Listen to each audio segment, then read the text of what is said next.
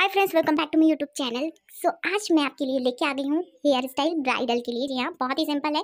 थोड़े से बालों को आगे से ले लीजिए और उसके बाद जैसे हम चोटी बनाते हैं, वैसे बनाना है। लेकिन थोड़े से बालों को लेके उसी चोटी में आपको इस तरह से गुथना है। देखिए, मैंने थोड़े से बाल लिए, फिर मैंने चोटी गुथा एक बार और फिर थोड़े से बाल लिए, फिर चोटी को गुथना स्टार्ट किया।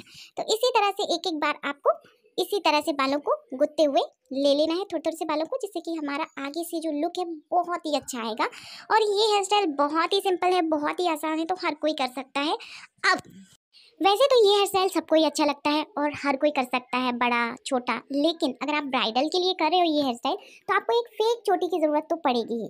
क्यों? क्योंकि आपके बाल छोटे हैं और ये हेयर स्टाइल थोड़ा सा लंबा जाता है मतलब इसमें जो चोटी होती है, वो थोड़ा नीचे तक आएगी, तब अच्छी लगती है। तो इसके लिए मैंने फेक चोटी ले ली है। अभी लगाएँगे हम आगे, जब आपको पता चलेगा कि कैसे लगाना है तो चलिए अभी यहाँ तक हमने चोटी को गुथ लिया है। अब हम इसी में मिक्स करते हुए चोटी को गुथते जाएँगे। और आप देखेंगे कि ये बहुत ही सुंदर लगता है। तो ये देखिए मैंने चोटी को गुथा और ऐसा बिल्कुल भी नहीं लगेगा कि आपने फेक चोटी का यूज़ किया है। अब नारियल पानी तो सभी पीते हैं और बचे हुए ये पाइप को हम फेंक देते हैं, लेकिन फेंकना नहीं है, इसको कट कर लेना है और यहाँ पे हमें लेना है कॉटन और बस इस तरह से हमें घुमाना है और बस इसे हमें फेविकॉल की हेल्प से चिपका देना है। बस तो हमारा सुंदर सा एसेसरीज बन जाएगा, जिसे हम लगाने वाले हैं सुंदर सी चोटी में। जी हाँ तो देखिए कैसी लगती है चोटी।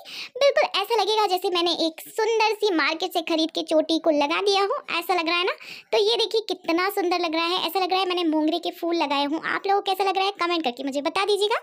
और वीडियो को लाइक करना भूलना नहीं और मेरे चैनल को सब्सक्राइब भी कर देना। मिलती हूँ जल्दी नेक्स्ट वीडियो में। बाय